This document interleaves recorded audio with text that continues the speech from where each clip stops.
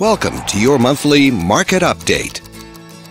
Let's take a look at residential real estate activity in your area during the month of September.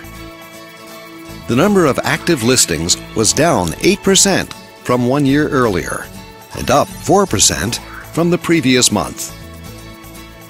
This recent increase reflected a larger selection of homes for buyers to choose from. As you can see, the median listing price for the month was $1.15 million. Compared to last year, the average number of days that units spent on the market before being sold was down 78%. This lower number of days may signal a positive trend in the local inventory turnover rate. Meanwhile, the median sale price was just over $560,000. Overall, the number of units sold increased 75% year over year and increased more than 200% month over month. These figures may indicate that buyers have been taking advantage of competitive pricing and interest rates. Thanks for watching.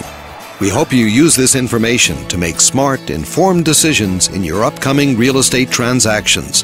Feel free to contact us for more information or further assistance.